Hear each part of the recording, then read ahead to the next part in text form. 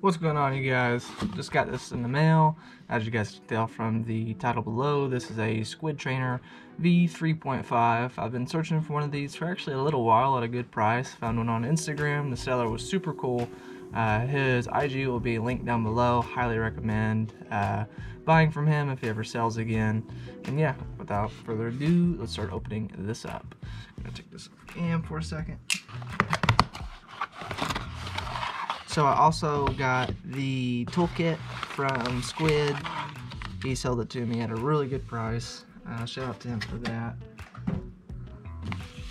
Which I may do a video on this toolkit. Uh, comment down below if you guys want me to. It's just kind of a smaller toolkit. Yeah, here is the actual uh, Squid Trainer uh, Ink Series uh, V3.5. I got the blue. Um, yeah, if you guys haven't seen a uh, Squid unboxing, this is what their boxes look like. They have their uh, website, Instagram, YouTube, and then, yeah. Open it up. Here is the actual balisong. So that. Move this box to the side now. Alright. So we'll go ahead and open this up. Now, when the guy sold it to me, uh, he's new to balisongs, and he wasn't too sure on how to tune and stuff. Ooh, it's been out in the mail, it's really cold. Uh, it had a little bit of tap at first, which, granted, it's been sitting out in the mailbox for a day. It's super cold. I'm sure I could tune this tap out. Um, but out of the box, it does have a little tap. Just a super quick update, you guys. I actually recorded this after uh, the video. I went ahead and tuned it, and I was able to tune the tap out.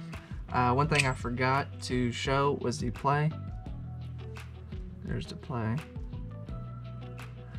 I'm not too big of a fan of whenever people have uh, videos where they show the tap and play and they push on it as hard as they can. Uh, I always feel like that messes with the tolerance a little bit. Could just be me.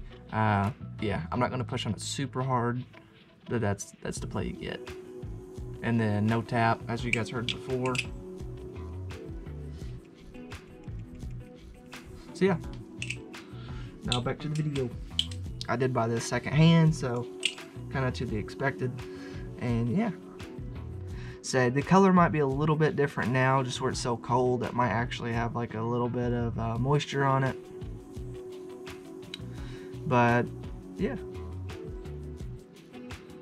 the uh, texturing on the handles feel pretty good. Uh, I'm gonna buy a Kraken trainer as well, kind of compare them. I think someone commented on one of my past videos and wanted me to uh, kind of do a comparison on them.